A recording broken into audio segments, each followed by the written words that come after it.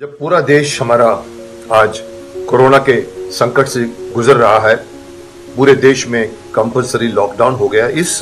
इस संकट की घड़ी में मुझे खुशी है कि भारत स्काउट्स एंड गाइड्स उनके जितने भी अधिकारी गण हैं, जितने भी स्काउट्स हैं, जितने भी रेंजर्स हैं रोवर्स हैं यूनिट लीडर्स हैं गाइड्स हैं उस भारत स्काउट्स एंड गाइड्स के जितने भी ये सब योद्धा हैं एक बहुत ही अच्छा काम कर रहे हैं। मुझे बहुत खुशी है। रेंजर्स और रोवर्स ऑफ़ जो है वो पूरे देश के अलग अलग राज्यों के सरकारों के साथ मिलकर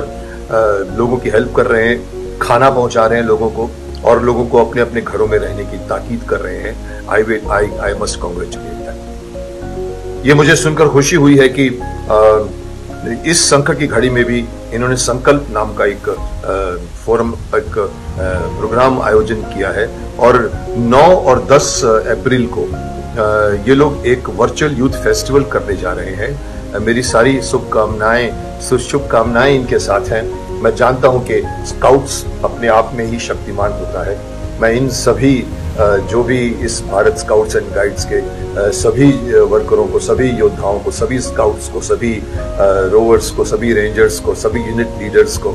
मैं यही कहूँगा कि सही मायने में तो आप लोग शक्तिमान हैं और आज हमारे देश को शक्तिमानों की आवश्यकता है। तो मैं चाहूँगा कि आप इस जो संकल्प आपने हाथ में लिया है और वो जिस, जो फेस्टिवल आप लोग अरेंज कर रहे हैं, उस फेस्टिवल को अच्छी तरह से अरेंज कीजिए, क्योंकि कोरोना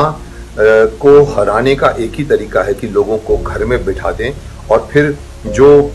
डॉक्टर्स हैं, जो वर्कर्स हैं, जो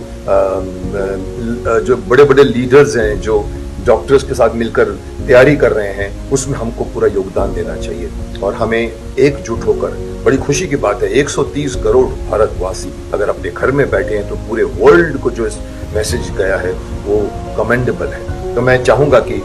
आप सभी योद्धागण, भारत जो कि भारत स्काउट्स एंड गाइड्स के हैं